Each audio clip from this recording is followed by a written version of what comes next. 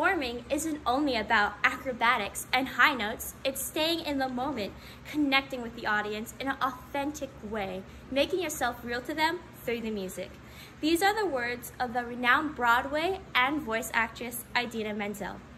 Musicals are a great and creative way to observe or participate in a performance with family, friends, or even by yourself.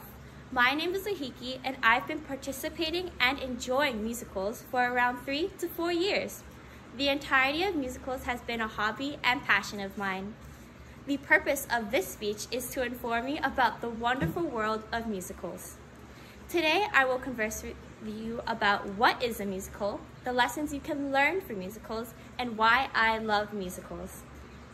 A musical is like a movie, but live. It tells stories through events and visuals. The special thing about musicals is that in those stories and performances, there is dancing and singing. When these songs and dances occur, it moves the storyline forward and expresses characters' emotions and actions. Now that I've shared what is a musical, I will now talk about the lessons you can learn from musicals. In watching a musical, you can learn many important or heartfelt lessons. For example, the musical Hairspray teaches you the value of equality and loving yourself, and the musical Miss Saigon showcases sacrifice, heartbreak, and family. We just discussed the lessons you can learn from musicals. I will now share my thoughts on musicals.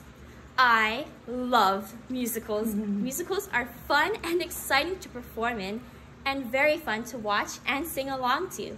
I even have a playlist filled with my favorite songs from musicals. It also combines my love of dance and performance. Today, I shared with you about what is a musical, the lessons you can learn from musicals, and why I love musicals. Now that you have gained more knowledge about musicals, would you ever consider attending or participating in one? Or even consider listening to a musical soundtrack?